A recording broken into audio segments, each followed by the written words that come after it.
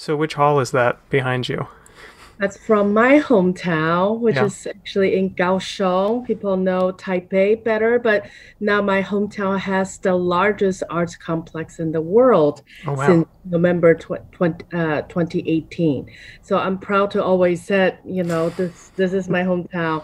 It, it was um, uh, the largest arts complex in the world, having four uh, venues. Um, based out of an old military base. So this is um, pretty exciting until the pandemic p- Yeah. pretty much prevented all the foreign groups coming to to Taiwan. But but you know Berlin Phil, Vienna Phil, they have already been there. Everybody is trying to. It's one of the best halls in Asia. It has the as you can see the vineyard design of uh, Disney Hall. Mhm.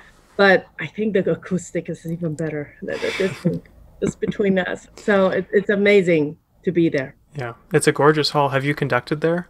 Yes, many times now, and and believe it or not, Taiwan's concert life has resumed almost. Okay. I would say ninety percent. I mean, other than foreign artists, probably have a hard time coming uh, to Taiwan with the twenty-one day quarantine. Yeah. But hey, things are happening. Concert life is resuming. Audiences are back. It's pretty amazing. Yeah, that's awesome news. We just recorded a concert on on Wednesday. We still showed it digitally, but it was it was nice to get back into the hall for a couple hours. That's right. Perfect. And so you you live in in Chicago, is that is that right? I'm based in Chicago. Based in Chicago, I, I okay. want to say live. I'm on the road so much. Yeah. But even even the pandemic, I was able to make it into Austria to do a couple filming. good. I'm principal guest with the um, the Styriarte Recreation Orchestra Graz, and so yeah, so I you know I, I guess conduct about twenty two orchestras a year on average, besides my Chicago Sinfonietta duties, and so I'm on the road a lot. Yeah. it's uh maybe it's a good problem to have at least. Yes, uh, and the pandemic definitely has made it complicated, but you know, we'll Yeah. see. We'll see if I mean most of my Europeans um engagements are still going ahead in the spring. We'll Mm-hmm. see what happens then. yeah, well it's awesome that you're getting to perform and you're and you're getting to do stuff. Yeah.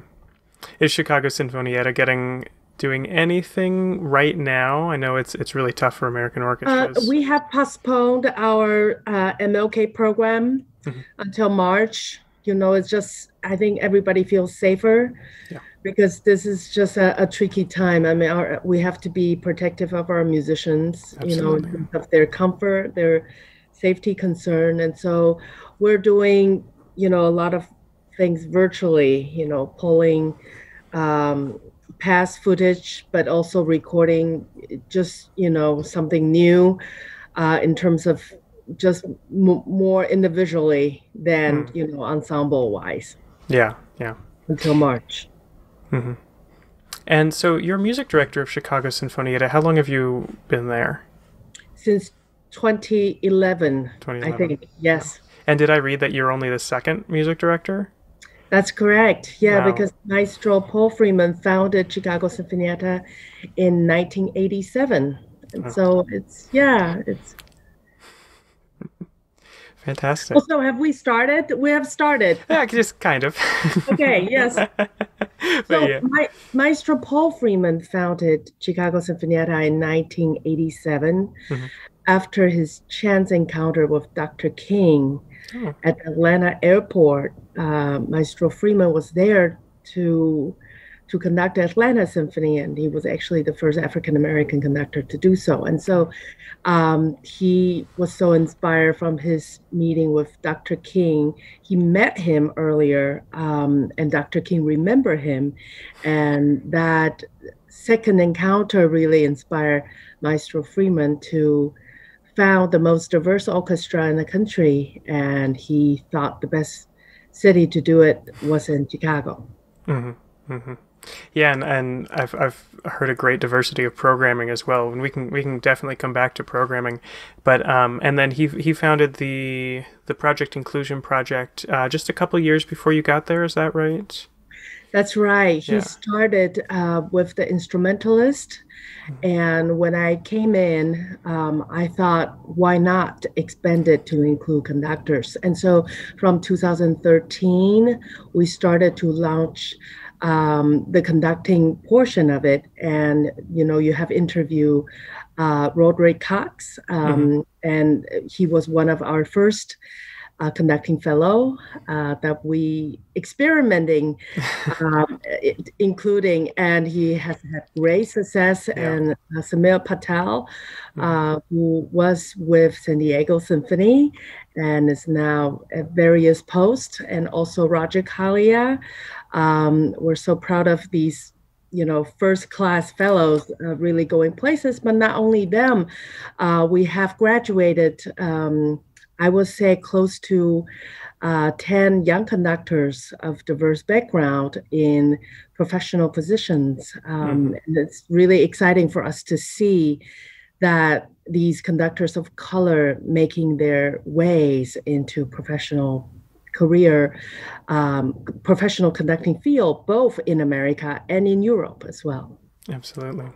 And um, do the fellows do they live in Chicago? Do they come in a couple weeks? How does that how does that work? Um, it depends. Um, if they happen to be local, I mean, we we of course uh, basically review the footage, um, not necessarily based off their locality.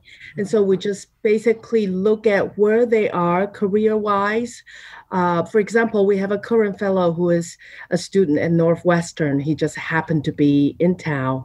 Um, he also came out of the orchestra as an instrumentalist. And so um, he happened to be in town doesn't mean that, you know, we only choose our fellows in in town. And we, we have had, you know, uh, for example, I mean, Roderick was really, um, uh, I think he was all over. This is this was before he landed the Minnesota um, assistantship. Um, so he was out of town. Samir Patel also, Roderick, uh, Roger Kalia also. So we we basically um, take people where they are. If they happen to be out of town, we fly them in for wow. a couple of weeks uh, per season to really go through our intensive sequences, which includes, you know, a lot more what people don't get as as uh, music school.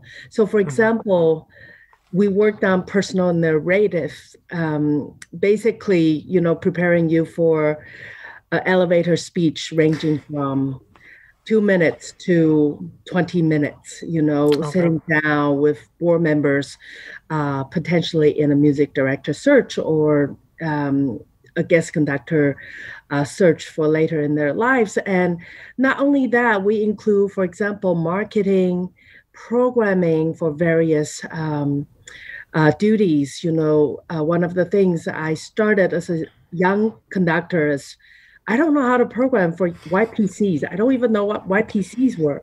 Young People's Concert, Family yeah. Series, uh, Park Series. I mean, all these incredibly important community programs. I had to learn sort of, you know, crash and burn. Yeah.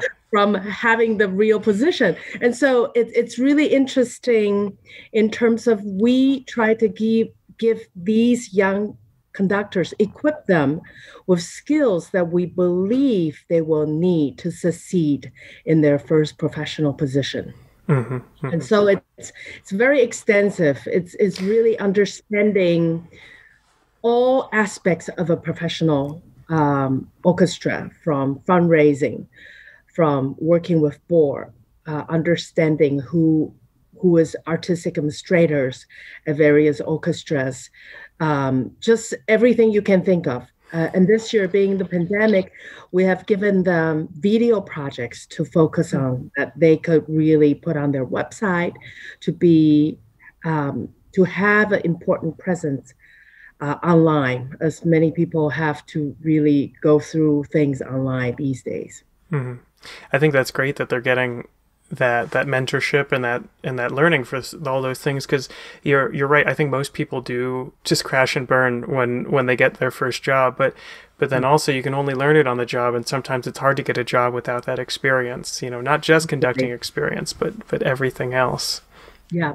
So i try to give them what i know from being three assistant positions um, on, my, uh, on my own journey to really you know, pass the baton, so to speak, you know, and also I've learned so much from my many mentors, um, assisting Robert Spano and Donald Runnicles from Atlanta Symphony, and my wonderful mentor with the Taki Fellowship, Marin Alsop, um, really knowing the challenges specifically for women conductors, for example, and to overcome that. And, and it's really just passing what we know to help the next generation of young conductors. Absolutely.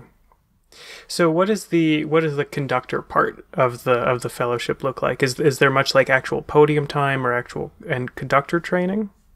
Yes, so we try to give um, our fellows and our auditors um, what we call quality podium time in terms of that we may be on on a regular base each time they come in they will have podium time with our string quartet mm-hmm. uh, made up of repertoire that's really preparing them for auditions uh, upcoming auditions for assistantship and when um, we have created assistantship after the fellowship to really then lengthen the mm-hmm. time they can have uh, with our organization and with me. And so when they are in the assistant position, we try to give them real podium time with Chicago Sinfonietta um, that's um, permissioned from the musicians to be taped so they could really submit the video uh, at important venues like Symphony Center. We perform at the home of the Chicago Symphony. And so it's a really big deal for a young conductor being able to have quality video that they can submit mm-hmm. uh, when applying for jobs and workshops and competitions down the road. And sometimes it's hard to get that quality video recorded. absolutely. You are absolutely right. You know, to have the quality sound combined with the video, that's a big challenge for yeah. many young conductors already. You know, you don't want to submit a video and that's, you know, the brass you know, sort of bla- blasting out the whole thing, and you can't quite hear the whole balance, or you hear someone, you know, um, the back of the orchestra is not necessarily the best sound, hmm. um, representing the collective sound. And so, for us to really be able to culminating um, at, at a graduation sort of opportunity is, is what we love to be able to give to our um, fellows. Not all of them get to have this graduation opportunity just because we have so few programs in a season. But you know the ones that do get it uh, will benefit so much. Absolutely. And so i forgot to mention today we are we're raising money for the for the conducting specific persian. Um, you know, project inclusion has has a lot of other sections but um but since this is a conducting podcast we're focusing on the conducting one. Who who should apply for this fellowship I think this program is ideally suited for those who have gotten um, really great training at music school or conservatories, um, whether that is, you know, finishing uh, a graduate degree. Uh, I would, I would, I would think that is actually probably more competitive just because we have had larger pool of applicants. Um, definitely, um, definitely, if if people are only graduating from undergrad, I mean, we will probably consider. Uh, those candidates as auditors because it, it takes a little while to really catch up to the curriculum, the intensive curriculum that we have designed. And so people who are really ready for having a professional career. Um, that's that's who we are built for, and that's um, the incredible success we have had in terms of really helping the person who is lacking opportunities to be to be ready for opportunities coming their way. We can't guarantee opportunities because you know a lot of the auditions come from uh, professional orchestras and they have their own uh, reviewing process. So we can only pitch our best in terms of, hey, you got to be looking at, you know, these guys. And people do approach us in terms of recommending oh, yeah. conductors. And so we try to do the matchmaking uh, as much as we can.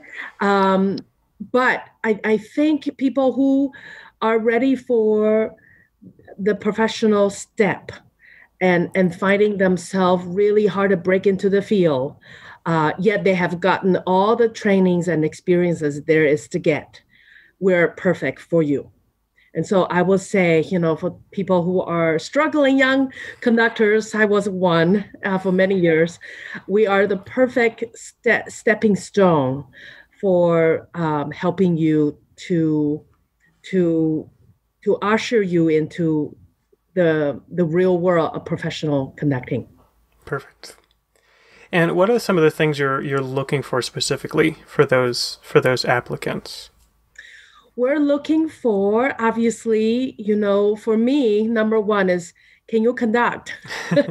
My first process when I look at all the applicants, I don't look at their names, I don't look at their materials. Mm-hmm. I just look at their videos, period. That's all I base on um, and I I will try to see. We we don't usually get finished products, and we don't want to only have finished products. I want to see talents. I want to see potential.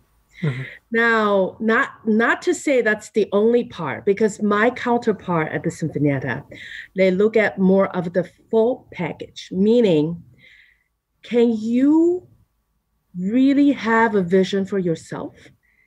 can you engage when you speak about i mean we do ha- ask people to submit uh, video where they speak about themselves and so we're really looking at people who have an idea about who they want to be uh, not to say that we're you know we're we're the program that actually designed to help you find fine tune who you want to be and your artistic vision and so we, we like I said, we don't we don't necessarily look for people who have it all, but we mm-hmm. are definitely looking at people who know how to engage, even through the videos, because if the person doesn't come off um, engaging or or fun, then you know it's a long way. We can't make a person from scratch, if you know what I mean. But we can take a person an unfinished product and make it very polished, ready for the professional world. And so it, it's really sort of abstract. You got yeah. to come with goods. That's all I'm saying. You got to come with talent and your vision, your passion. Maybe that's the word. Mm-hmm. Um, and then if you win us over, then we know how to help you because we have very limited resources. You know, we, we're very small, but a mighty small um, ensemble that that's very visible um, for the field in the country. And so, you know, we, we don't we don't have gigantic, you know, resources. So we have to be very picky about who we choose because at certain level it's going to be very personal. Hmm. Uh, when it gets close to audition times, it's basically me getting on the phone uh, with the with the fellows one on one for a couple couple sessions to really get that person ready for everything I could give that person ready.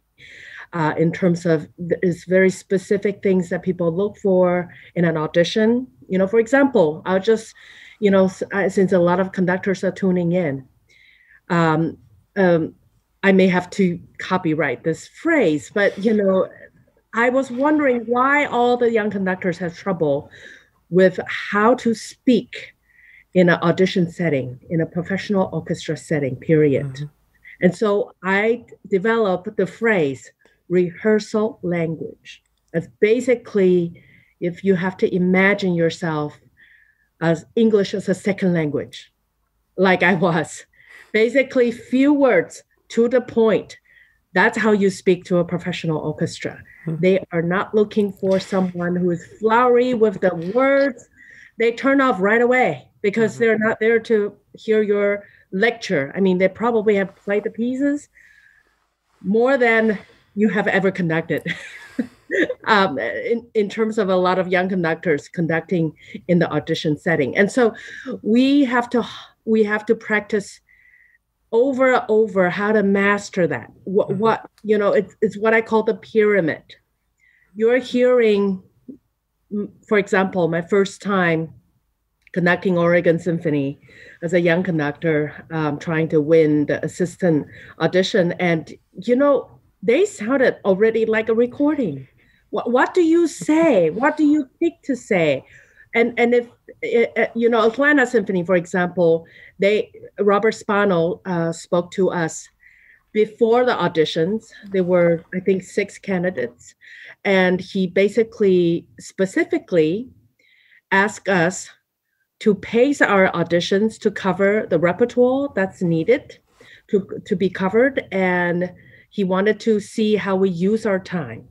And so I think it's super important in terms of if you were to stop and say one thing to this, you know, 15 minutes that makes or break your career. And this is a, a, you know, Atlanta Symphony. I grew up with their professional recordings. What do you say? I mean, this is very interesting uh, experience, and almost you're not taught at school how to overcome many challenges and anxieties you feel at professional auditions because you're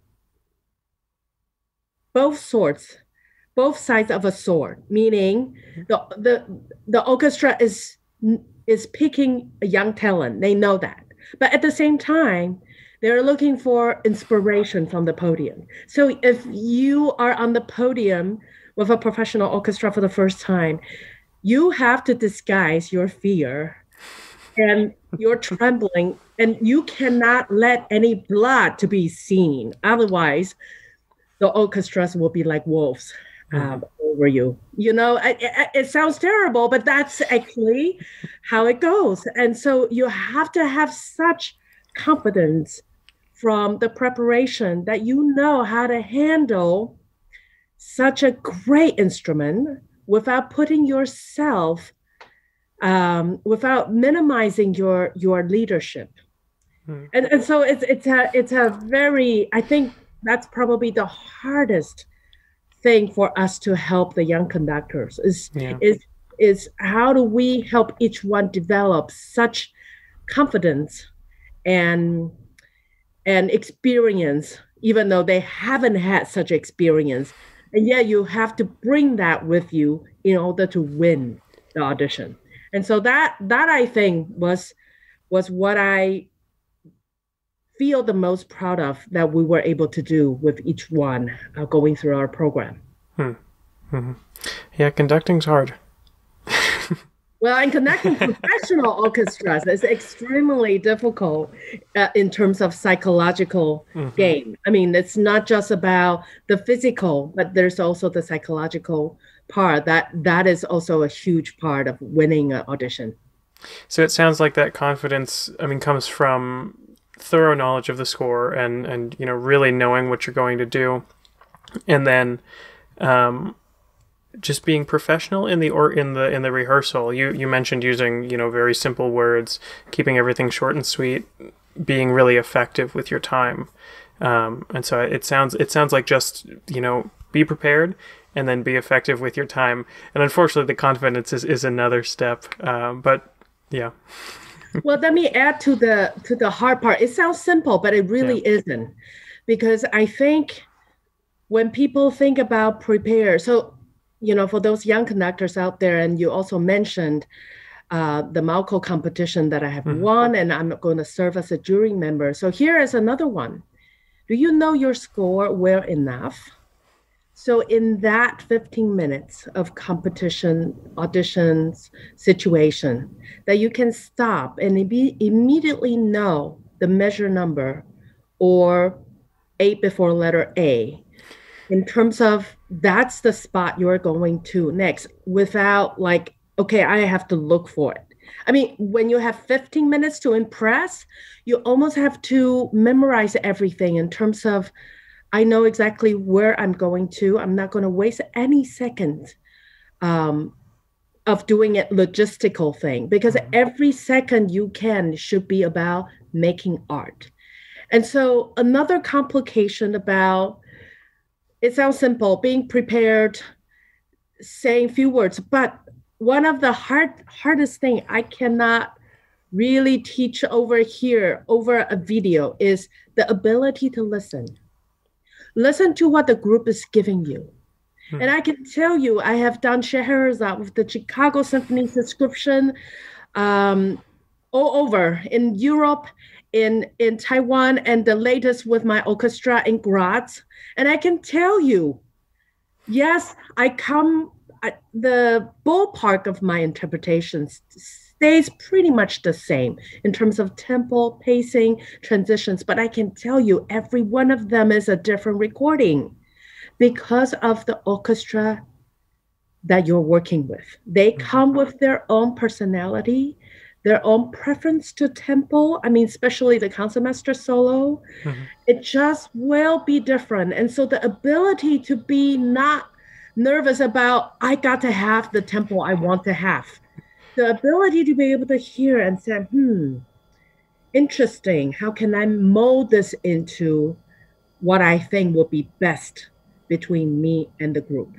And so it takes a lot of chamber music ability and and that only comes from making music with others literally in a chamber music setting yeah now also another tricky part is uh, so i'm just going to to to go into different directions yeah. being prepared for some of the young conductors out there well this might be shocking to you that sometimes you show up and your edition is different from um, the what the orchestra is using, and then you find yourself you can't stop because where is letter A? They don't have a letter A. They have one. And so uh, the preparation, I would totally recommend finding a way to contact the librarian. The librarian network is so close. Please don't burn any bridge if you can help it, because it will be broadcasted the next day. And so, uh, keep a perfect record of the librarian and be nice about asking. You know, I asked for a PDF of the first violin part Hmm. it, you may not need the whole string parts unless you really want to.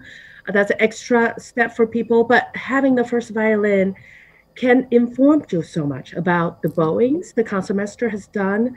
You can definitely check the rehearsal numbers, letters, measure numbers, in case there's any addition uh, differences. And that's a very important step about not making yourself look like a fool at that first rehearsal. Mm-hmm. Um, couple things I think um, different from this is watching other people's work. Now you have a lot of YouTubes available to you. If you can sit in, well, now it's the COVID time. Unfortunately, it's not possible. If you can sit in people's rehearsals, um, you know, majority of um, assistance time is also sitting in, being a cover for a guest conductor or the music director. And people think those times are boring. But I I spent five years covering for three orchestras, and I found myself very occupied. Even though I was sitting in the hall just listening for balance, I am always ready for the next balance spot. If Mr. Spano turns around and said, "Mei-Ann, any balance issue, boom i can i can be ready to say "Let her be." what wins maybe softer or something like that. Because you want to be engaging yourself in terms of yes i'm sitting in the hall but any moment you could be called onto the podium things could happen on on stage. Who knows what right? And so um here's an example. Um Mr. Spano and Atlanta Symphony was was doing uh, I think uh, Brahms piano concerto with uh, Bronfman, and I I I've always uh, you know just be very looking out to what's happening on stage, and even even when the piece has started, and I saw Robert turned around, and I don't know what was happening, whether he needs something from off stage. It just looked unusual. Yeah. So I didn't know what was happening. I ran backstage immediately, and and the stage uh, manager happened to be, I think, watching football since you know things have started, and I got I got his attention and I said, "Can you please come on stage? I don't know what's happening." Well, it turned out the piano's wheels were not locked properly. Oh. And so the piano kept moving, and then he, I, I think the soloist was trying to signal to Robert, the conductor, I, I can't keep playing because, you know, it's just running away from me.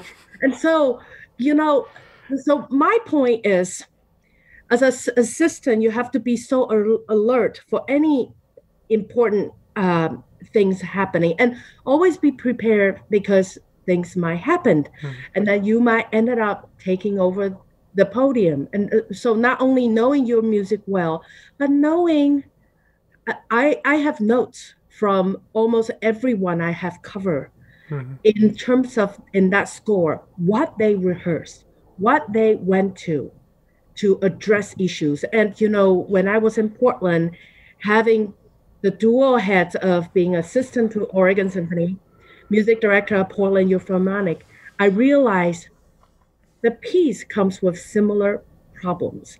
It's just a matter of degrees. With youth orchestra, it's magnified, you know, yeah. the, the transitions are going to be messy. But I realize with professional orchestra, well, the problematic places are similar. Hmm. They're just the degree maybe smaller, but the the problem, you know, every score comes with uh, its own challenge, and they're similar. And so, I would encourage all the young conductors out there, please don't ever feel like you know everything. I still don't, I still feel like there's things I don't know about Scheherazade. Every time I do it, I'm like, why didn't I think of that last time? And so I will say, listen to all recordings. Mm-hmm. Bad recordings is also very informative. What was bad about it and what was the problematic place? That is very apparent on the recording, and they didn't have time to fix. That was very interesting. And so I will say we have all the tools available to us. And so, you know, being prepared as a young conductor, it's it's not easy because it it it encompasses so much that you need to be ready for. Mm-hmm. Yeah, absolutely. I I in rehearsals, I'm always taking as many notes as I can. Like I'm like, oh, if I have to, if I stop, am I missing something? Like I try to always be busy and, you know, yeah, absolutely focusing on, on the sections that get rehearsed and the sections that don't because sometimes it's it's not what you expect. But i love that. Just always be prepared because yeah at, at any moment they could turn around. And um, and the more prepared we are the more we can actually help. You know, i think we feel so helpless so helpless as assistants all the time. We don't get to do anything but we really can if we take notes and we send notes and we and we help with those things and I will also encourage people, if you have the chance to sit in rehearsals, to listen to what needs to be done without what needs to be done that has to be spoken about. Yeah. Or things that will naturally fix itself without you touching it. And so this is this is another sort of comes with experience and and a, a, um, a very common mistake I think a young conductor does is you hear something, you stop immediately and you try to demand it. Versus, okay, maybe maybe take take this passage one more time but but you do have to say something i mean if you don't say something then the orchestra thing you can't hear so it's a balance of giving them a musical direction and letting things sort of find itself to be fixed and this you know it, it's it's a hard one to discern hmm. now um, another thing I will encourage all the conductors listening, I, I will assume more American conductors listening than European conductors because I, now I work in both continents. It's a huge difference yeah. in terms of rehearsal expectation. In awesome. America, things are need to be efficient because it's very cut, cut and dry and do not ever go over one second mm-hmm. because that will not go down well for again the personnel managers they all talk which young conductor went over time without you know um, without realizing it and so uh, another really important thing i will encourage american young conductors to do when you stop it's easy to fix the obvious the technical, longer, shorter, louder, softer. But please don't forget why we're there. We're there for the music. This is what European conductors do more. Hmm. Is they focus on the music and then use the technique to support it. And so I I always train my uh, the, our fellows when you have eight words I try to limit their one sentence to eight or 10 words because in an audition setting, really, that's all, all they have the tolerance for. How do you get in musical? Well, obviously, you have to say where it is, who is involved. Those are those are given, right? Then, what you really need to cover is musical intent, followed by a technical help. Mm, okay. All that in ten words and it takes quite a bit of practice. It's really yeah. not not second nature. Mm-hmm. It's easier to just keep talking and keep talking. Absolutely, yes, yes. Well, there will there will be a moment. For example, if you are auditioning for a assistant that has, for example, a youth orchestra attached to that job, well, then you rehearse differently with the youth orchestra. Mm-hmm. With the youth orchestra, you're more of a teacher. And yes, I, I still think the, the efficient way of rehearsing applies. However, you do have to give a little bit more soul and spirit to the piece for the young for the youngsters you know it's it, the cut and dry doesn't necessarily go far. You have to create at least one magical moment. As my conducting father um, mr ken kiesler at university of michigan has has taught me you have to create at least one magical moment in a youth orchestra rehearsal setting. Yeah. And that could be that moment could be, for example, I have done crazy things with my youth orchestra um, uh, time. For example, I asked them to stand and dance that passage that could be a you know it's really breaking out of their shell feeling a music. Hmm. or i you know in taiwan the summer festival now, now i lead has a youth orchestra program. I have basically taught everybody basic conducting patterns. So everybody has to conduct. Conduct hmm. and sing. That's how you can master sort of the the musical intent you're trying to create uh, with your instrument. And so a, a, magical moment could be storytelling, mm-hmm. you know, really sort of put people's mind in, in terms of a story. I mean, this moment could be, you know, a sun rising on a cold winter night you know uh, just just giving images and so i think it depends on the situation i think you know the professional orchestra is less less likely to to to share with your enthusiasm in storytelling but the youth orchestra definitely mm. that's that's a different different way of communicating mm-hmm. Mm-hmm. so let's talk about some of your teachers you mentioned um, ken kiesler and you've, you've talked about robert spano a couple times who are all your teachers and then um, a couple of lessons that have really stuck with you you know um, I, I will just pull from various teachers. I have so many to, to be thankful for. You know, uh, I, I had a wonderful violin teacher, um, Eric Rosenblith, and I, I was doing sort of I was doing double master's degree at NEC, which was like the first person to have done it in both conducting and violin. So I was practicing maybe three and a half days and then doing conducting in the other half of the week. And i will come into my violin lesson and and he will say well man i know i know you're very busy and you learned this very quickly but you're what are you trying to say with your hmm. music? Yeah. And i think that has always stuck with me even as a conductor. What are you trying to say with this passage with this Dvorak, with this Beethoven. You know, obviously we don't we can't call them up and ask them directly, but we have to come up with our own interpretation.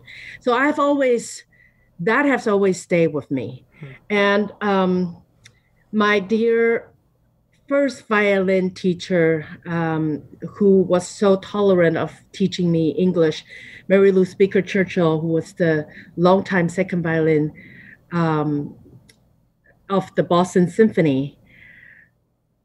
I mean, it's interesting how we all come to a problematic spot. I mean, in rehearsal, as a conductor too, you know the orchestra is struggling. You know you have to get that transition, and our first instinct is always just do it over, over. You know, sort of the drill master yeah. in us. And I will always remember Mary Lou saying, "Man, love it more."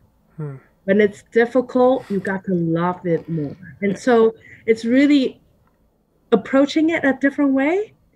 And so I have I've used really fun examples um, in rehearsals.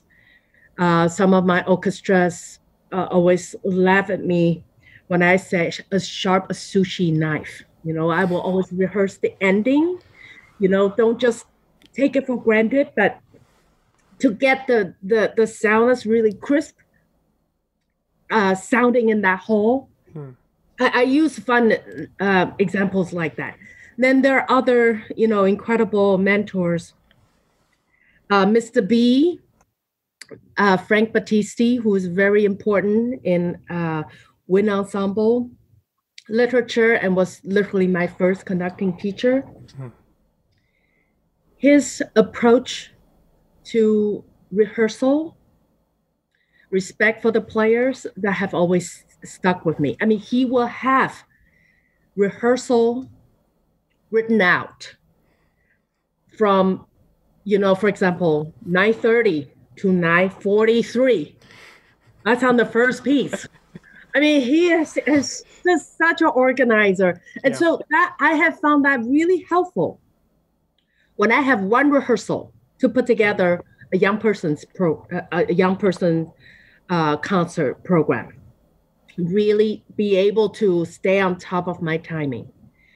Uh, I have wonderful mentor in Marin Alsop, who has done so much for women conductors uh, that I don't know another person on the planet has done more than she has. And Marin is just a wonderful inspiration in terms of she inspired me to really work on public speaking. Hmm. Just be able to talk about the music you championed and to be creative. I mean, she's so creative with incredible ideas, just anything. You know, when she started the Baltimore tenure, that she invited, um, she created opportunities for the people who built the hall to come and be part of you know the celebration. I mean how creative is that you know to really include people that's outside of your normal base? Uh, Ronald Donegal, uh, uh, uh, Donald Runnicles, um, excuse me, Donald Runnicles with the Atlanta Symphony, who conducts the orchestra, almost imagining you have lungs on your arms. I mean, the singers love working with Donald because he understands yeah. when the phrases needs to breathe. And and you know he conducts with left hand was you know very curious for me to see, and you know he actually puts the orchestra in certain mindset and and I find a very interesting way um, of of rehearsing the orchestra, much more European. Um, and so it, it's uh, all my I, I learned so much from all these mentors. It, each, each one of them, you know, Robert Spano has created the theater of a concert concept with Atlanta Symphony. For those of you who don't know about this, just Google Atlanta Symphony, for example, Haydn um, creation. You know, I had to cue the broken triangles, which were were also parts of the screens. Um, but but it's just incredible things that they were able to create. Dr. Atomic, for example, mm-hmm. uh, Theater of a Concert, really, cre- really bringing uh, extra theatrical elements into your concert production. I learned it from Robert um, more than anybody else. It's just incredible to be able to think outside your box um, and, and to make your art form more relevant to more people. Some people are very visual, like my sister, uh, who's a visual artist, always think coming into a concert hall, sitting down for two hours is kind of boring experience.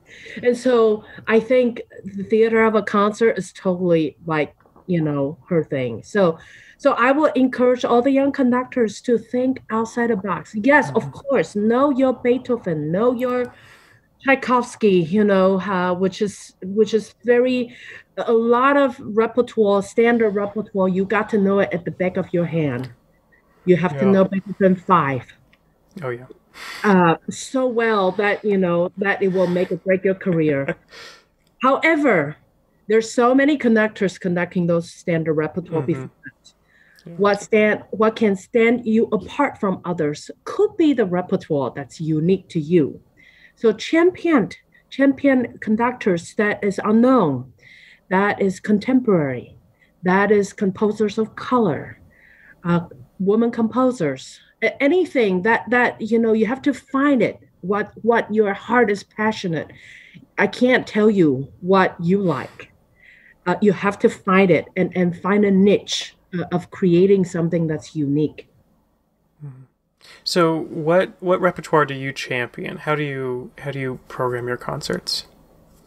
So, at Chicago Sinfonietta, uh, was always well known for not only championing for diversity uh, equity and inclusion, but also very innovative programmings because they play in the same hall mm. as the Chicago Symphony. So you might remember, I remember as a young conductor thinking, which crazy orchestra is this? 2006 on the front page of New York Times for the uh, the art section, there was a, a, a orchestra that commissioned a concertino for cell phone and orchestra. Um, uh, called concertino. Yeah, concertino for cell phone and orchestra. And this is before cell phone became household items. And I kept, I, I remember thinking to myself, whoa, that orchestra is pretty brave. Not knowing years later, I will be at the helm of this orchestra creating crazy programs. um, and so, um, because Sinfoniettas has always done things outside the box, if you thought it, we probably have done it. So, you know, um, and, and I, I'm ha- happy to share. Um, maybe I'll send you a link that you can uh, share with, with your listeners, um, sort of a, a, a, minute of our crazy projects um, during my tenure. Uh, for example, uh, a world class tap dancer hmm. dancing to Firebird Suite by Stravinsky jumping off the stage at the end of you know his his portion. Huh. Um, we have done light pen, painting to uh, live music. We have done unusual instruments. Uh, we have done uh, various type of dance uh, with standard repertoire. I mean, you name it, we probably uh-huh. have done. And so it's uh, the Sinfoniettas programming, you can say it's fun, but also super challenging because yeah. everyone has to be sort of its own narrative uh, and it has to jump off the page like a Sinfonietta concert. So, for example, um, we did a collaboration with Mucca Pazza, a 30 piece mismatch marching band in Chicago that has a huge following. I lost two nights of sleep trying to program with with them I almost quit my job over because I'm a classically trained conductor. What, what do I do with a, a marching band in a concert hall? So I'm proud to say we come up with a, a pro- project that has won us the MacArthur Genius Grant. Oh, yeah. Um, uh, we became the first orchestra to have won that. Um, we created a concert version, first half, uh, taking music that's connected to bands, you know, such as uh, English Folk Song Suite Yeah. by Vaughan Williams, uh, Britten Young Person's Guy setting up, you know, each section battle of the bands idea. Second half, we take the band's music and made made orchestra uh, arrangement. And my dream come true when I was sitting in Chicago Symphony's uh, performance. I was dreaming about how could we make the concert experience more theatrical. And so my dream came true. 15 member of the band signed up to to be lifted up in the piano lift as we started the music and people were like we hear the band but where are they and when people see the sousaphone coming coming out of the piano lift it was like a rock concert it was not a classical concert anymore then we did the second piece of their music had a klezmer feel to it. So i link it to one of the most well-known symphony that has klezmer music, Mahler Symphony Number One. hmm Da-da-da-dum, da-dum, da-da-da-yup-da-ba, Right, and so you know the. Uh, when we met with Mucca Pazza, they said, "Man, we have cheerleaders." And you can imagine my my face. What do I do with the cheerleaders? So they came out and did a cheer leading into Mahler one. It was the most entertaining. then the uh, final piece, 1812 by Tchaikovsky. Mhm. So Mucca Pazza orchestrated their entrance uh, from various uh, entrance in the hall as the invading French, uh, and the orchestra as the Russia protecting its motherland. And so at, at one point, they even had uh, cheerleaders coming out on um, the choir love holding baguettes. You know, they ran out of food and, and lost the battle. At the very end of the piece, Mucca Pazza literally died on stage. Uh, the orchestra was the victor uh, of the battle, and so my musicians was so fun. They the, after the first performance, they came to me and said, "Man, could we march out as the victors after the uh, uh, after the Mucca Pazza band?" I said, "Of course, feel free." And so we had also purchased 11, uh, 11 shots of uh, confetti cannons. So we have nosebleed session, ses- sections in, in, in orchestra hall, and we we save two shots, aiming for the right angle, and then um, uh, 11 shots, you know, for the performance. And um, it, it was it was to die for. That moment of audience grab trying to grab onto those long confetti and with the lighting uh, it was it, you have to you have to see it to believe it. And my wonderful team have come up with battle of the beers for before the concert during intermission and after the concert. You know if we get them drunk they're more likely to, to the orchestra. And so anyway so that's an example of chicago sinfonietta's crazy programming. Now what i have found that's really interesting that has become sort of a part of trademark for my career is championing for women composers. Mhm. We have created Project W as um, a way to celebrate our 30th anniversary Hmm. because the the baton passing concert when Maestro Freeman passed his baton to me was a program all by women composers. Oh, so wow. we take that Yeah. one step further of honoring, you know, hi- his uh, legacy and to really create a disc with our wonderful partner, Cedille Records, Mhm. uh, to capture five works by women composers. Um, among the nine total works that we feature over the season, we were, by percentage, we were number one in the country. By number, we were only number two after Los Angeles Philharmonic. we have 10 works out of their 200 some works. Yeah. We have nine out of 22, you know, mm-hmm. and so it was a big year for us to champion for women composers. Project W, we feature the first African American a woman whose work being premiered by a major orchestra, uh, whose name is Florence Beatrice Price, mm-hmm. Uh, who was originally from Little Rock, Arkansas, and made her home in Chicago uh, uh from 1927 all the way until the end of her her life in the 50s. And um, she won the Chicago Symphonies competition, and when they premiered her symphony in E minor in, in 33, she became the first African American woman in the mm. country whose work was uh, received such a big exposure. And so we have on the disc project W uh, of her charming dances in the canebrakes because mm-hmm. I think it's easier for orchestra who doesn't know her to program short pieces as a, a way to introduce her to the audience. And this is orchestrated by her childhood friend, William Grant Still, who is much well known, uh, yeah. considered the dean of African American composers. They were both from Little Rock, Arkansas, but you know, uh, when Florence Price, at the end of her life, this is 1953, when she wrote these three dances using indigenous African rhythms for piano, I think she was too ill to orchestrate herself. She's a wonderful orchestrator, um, you know, as you can hear from her Mississippi Suite and her symphonies.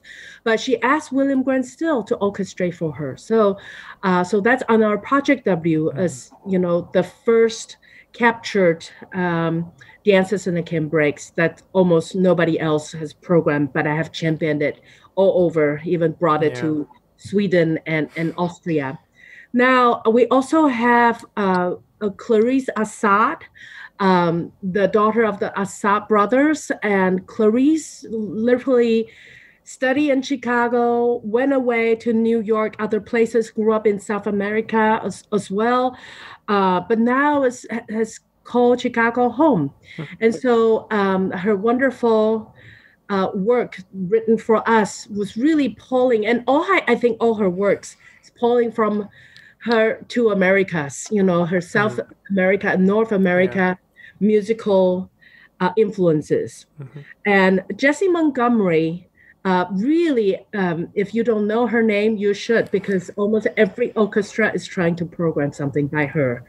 Uh, since the Black Lives Movement, uh, uh Black Lives Matter movement takes off, mm-hmm. Jessie Montgomery was from um, New York and really able to bring to her music this, I think, just wonderful um, fusion of all kinds of music really exposed to her in New York growing up, um, Lower East Side, I think, and and really be able to use her string background. Um, she is a very accomplished violinist uh, of the Catalyst Quartet, and so you know her uh, piece of Strum written for strings, also Starburst, is literally hitting the orchestra radar. You can you know, Google Starburst, and you will see a Minnesota recent um, uh, streaming online uh, through Facebook on her piece of Starburst. Mm-hmm. Really wonderful, um, very rhythmic and, and very creative My of Jessie Montgomery. Also on the disc, very well known Je- Jennifer Higdon, a, a, a, dear friend I got to know from my tenure in Atlanta Symphony. Um, I assist I assisted her uh, in the recording with Jennifer Koh, uh, the singing room with Atlanta Symphony and Atlanta Symphony Chorus. Uh, we recorded her dance card because that was um, it was we were just lucky to be able to catch the co-commission since I also did uh, the Houston premiere with River mm-hmm. Oaks Chamber Orchestra. And the dance card for strings is just five individual wonderful movements that can be created in any combination mm-hmm. uh, of a suite or individual movement. And uh, I think it's some of Jennifer's best work in terms of just uh, the sublime beauty mm-hmm. of the mm-hmm. slow movement um, and the wonderful rhythmic driving um, fast movements. Um, I highly recommend people, especially in this COVID time, if you need to do something smaller, uh, like reduced version, strings only, Jennifer Dance Car is it uh, for for a lot of fun. Mm. Um, I I would like to mention, yes, uh, one more uh, one more wonderful composers uh, from Project W before I mention the ones that didn't make it on Project W. Uh, Reena Esmail, who is uh, who grew up grew up in Los Angeles and now still also based in uh, Los Angeles. Wonderful composer in terms of the first in able to being able to fuse his uh, Hindu uh, Hindu uh, or traditional Indian music with Western music. Um, so it, it's uh, the piece she wrote for us was it was right when Me Too movement was really uh, at its peak, and she was writing something else. But she uh, uh, approached us and said, "Is it okay that she changed the title to Me Too?" And we said, "By all means." Mm-hmm. And it's this wonderful. Um, raga that she also sung on the disc that made it into us the materials for her Me Too for us. And um, I find her music incredibly exalted and, and interesting because it puts me in a different world. Uh, you have to be able to cross over um, to this, you know, uh, raga and and tala. This is very different world you know mm-hmm. this is yeah. all oral tradition. It's not written down. And in terms of you know their uh, you it's it's a different world. In terms of you know their pitch sometimes is bending because there are three there are three uh, portions to a pitch. And you have to sort of hit it just right. And it's it's completely different than what we think of Western music. And yeah. so I love Reena's music anytime. You know, I premiere her uh, Teen Murti also for strings. Mm-hmm. And the musicians find it incredibly challenging and fun because the the mix meter is harder than Rite of Spring. I, I, can only explain. I mean, I, I, I literally show her score to the audience uh, when we did it in Chicago. It was just it was just uh, kind of a, a, different experience for us. Now, one more woman composer for young conductors out there. I've discovered um, a wonderful woman composer who's just literally forgotten in history. Mm. The first symphonic composer for Croatia. Her name is Dora Pejacevic. Let me spell for you. Dora Pejacevic.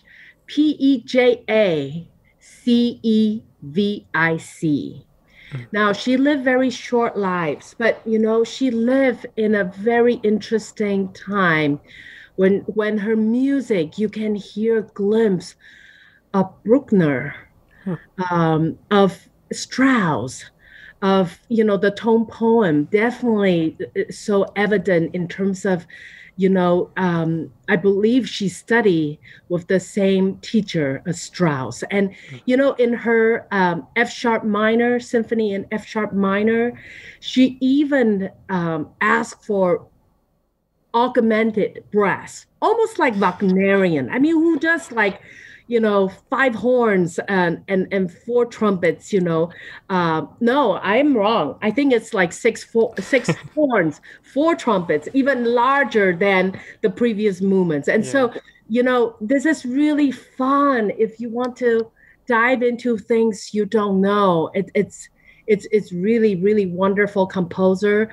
Um, she died actually of um, giving a year after giving birth to her son and so it's really unfortunate that we don't have any you know more more works from her but but she was already very prolific another unknown composer i highly recommend the young composers as i have championed um, some of his work joachim raff r-a-f-f contemporary of brahms yeah. a swiss german um, composer that was really sort of a, um, a prodigy of Liszt.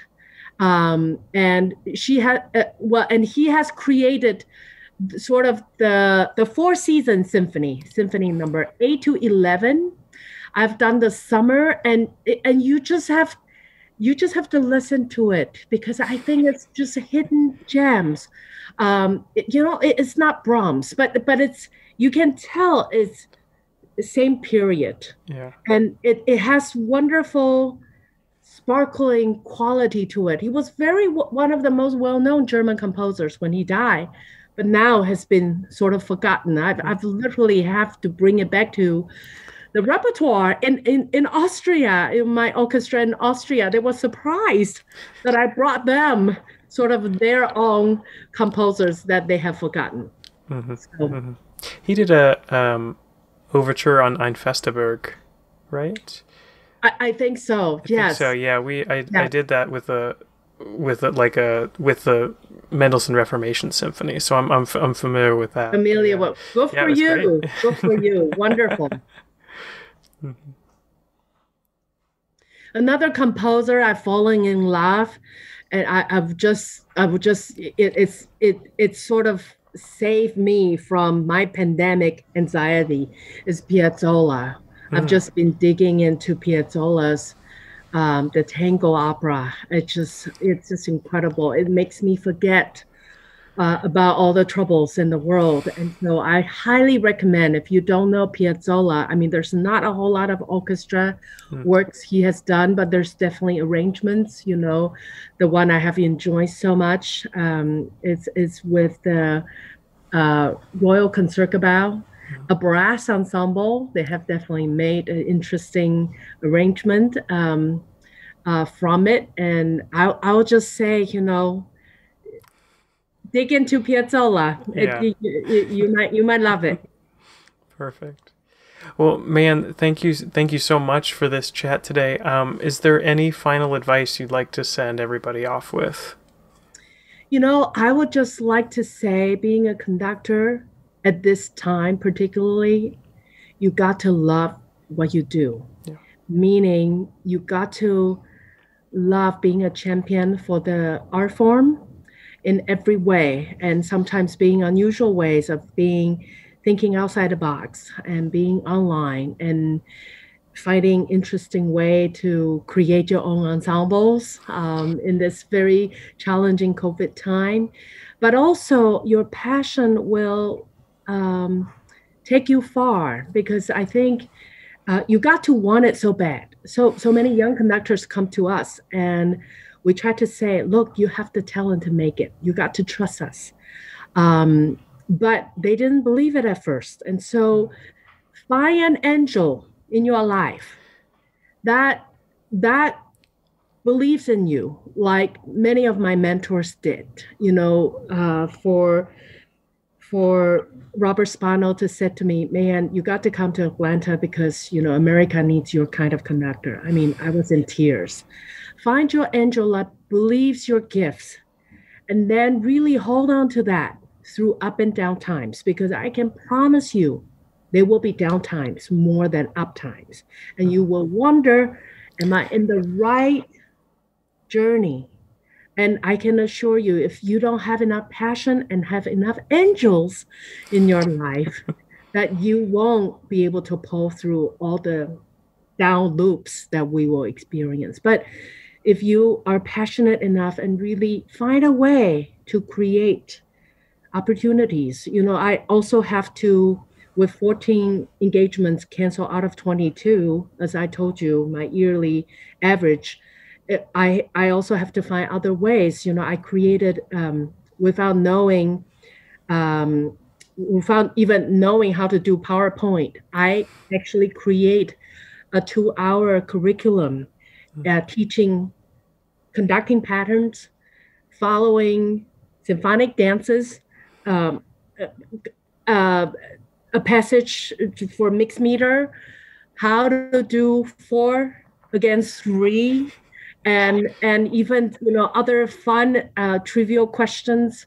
all in one presentation, and I have used it at several co- colleges, the Brown University, USC, University of Houston. And so find ways to create things. That's, well, I have to thank uh, Carnegie's NYO2 because I literally created for the students who could not meet in person. And so that, that led me to explore creating this program. And, and I'm going to create another one to follow this up. And so I encourage all of you out there to think outside the box and, and you are not alone in terms of we're all going through this together. But if you can, you know, use your energy to create something unique, um, you will survive and thrive. Mm-hmm. Mm-hmm. Again, thank you so much for joining us. Thank you for for leading Chicago Sinfonietta with these fantastic programs and this and the great um, project inclusion. Um, again, we're raising money for that today, so uh, so thank you so much for joining us. Thank you for having me, and thank you for inviting Chicago Sinfonietta and and for raising funds for our project inclusion Freeman Fellowship. Thank you so much, Jeremy. Absolutely.